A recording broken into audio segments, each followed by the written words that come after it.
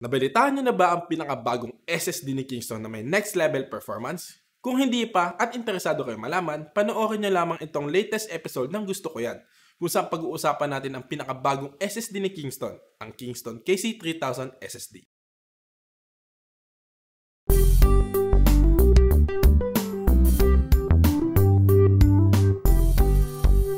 PCIe Gen 3 na ginagamit ng previous SSD model na KC2500 ay nagbibigay sa kanya ng max sequential rate up to 3500 MB per second at max sequential rate naman na 2100 MB per second.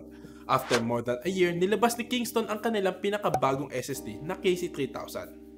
Ang Kingston KC3000 ay nag-utilize ng PCIe 4.0 NVMe technology at ang pinaka-latest na Phison E18 controller para maabot ang max sequential reads at max sequential write na 7,000 MB per second.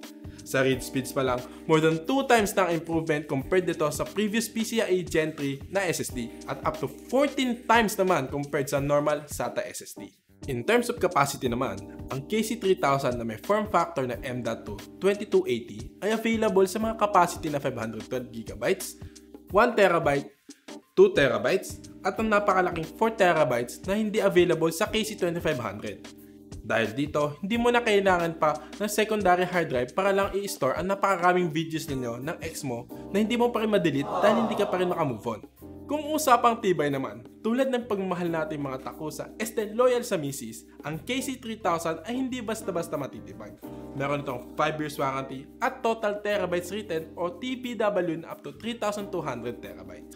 Ibig sabihin nito, ay kahit araw-araw mong pasukan ng 1.7 terabytes worth of data ang KC3000, ay covered ka pa rin ng warranty kapag nasira ito within 5 years. Beneficial ito especially sa mga content creators natin na parating may sinisave na malaking video files. Kung iniisip ninyo na mabibitin ang KC3000 sa performance kapag napasabak ito sa matagalang bakbakan, nagkakamali kayo dyan.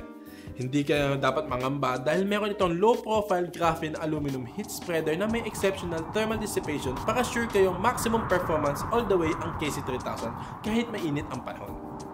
Overall, ang Kingston KC3000 ay swak sa mga gustong mag-upgrade ng kanilang laptop o desktop para ma-boost ang loading time ng kanilang mga game o mapabilis ang kanilang pag-edit ng mga videos para ma-upload ito sa kanilang gaming channel. Hindi rin kayo mangangamba sa pagkasira nito dahil meron itong mataas na TBW at 5 years warranty. Para sa karagdagang impormasyon ukol sa Kingston KC3000 SSD o para sa mga interesado bumili ito, i-click lamang ang link sa description. Kung nagustuhan ninyo ang aming video, palike na lamang ito at mag-subscribe na rin para updated kayo sa tips, news at product showcase.